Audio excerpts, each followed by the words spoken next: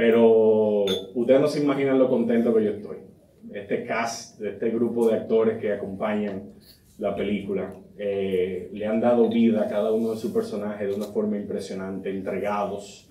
Es algo que yo realmente estoy muy orgulloso y es algo que se va a ver demasiado bien en la película. Empezando por mi querido Augusto Feria,